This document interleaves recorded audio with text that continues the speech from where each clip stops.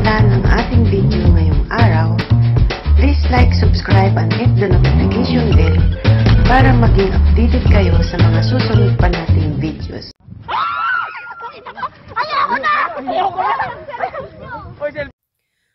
Magandang gabi mga kababayan ko dyan sa Pilipinas. Kanina lang po ay pumutok ang Bulkang Taal at agad itong naglabas ng mga putik at alikabok kasama ang magma. Ipagdasal natin ang mabilis na paghinto at pag-aalboroto ng bulkan at naway walang masaktan at maging ligtas kayong lahat dyan sa Pinas. God bless us. God bless Philippines.